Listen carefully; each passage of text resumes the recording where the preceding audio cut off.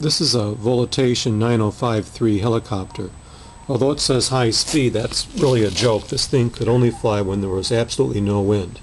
And if I tried flying it with any kind of wind or in the fast mode, the balancing bar and the blades would hit and the helicopter would crash and I ruined a balancing bar and a set of blades by that.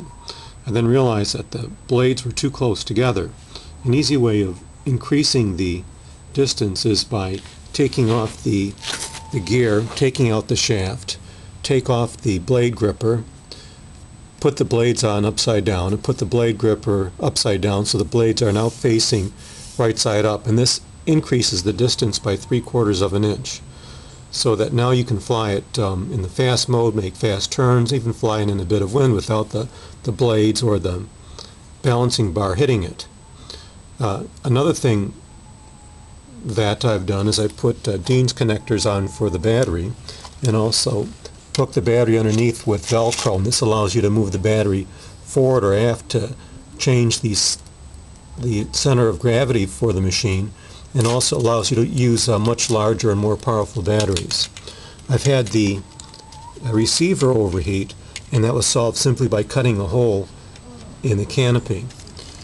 Um, in addition, instead of replacing the whole back um, part of the the machine, you can just replace the uh, motor, and that's an N20 PN motor. It's available for about a dollar fifty. You can Google that and find that. Um, in addition, I've found that the connectors to the motors in the receiver are too small to handle the current, so I directly solder the wires on the back of the um, receiver, and that um, has kept the receiver from uh, the connections from overheating and failing. Uh, with these um, modifications, I now have several hundred flights on this helicopter, and it um, responds much better.